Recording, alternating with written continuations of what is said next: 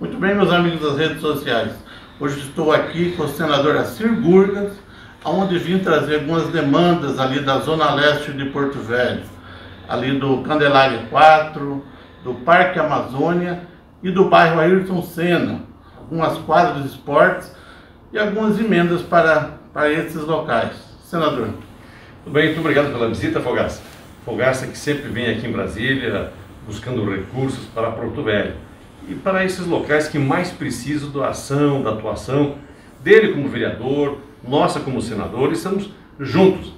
Vamos fazer o possível para atender todas as demandas do nosso vereador Fogaça. É importante para o nosso município de Porto Velho, é importante para toda a nossa população.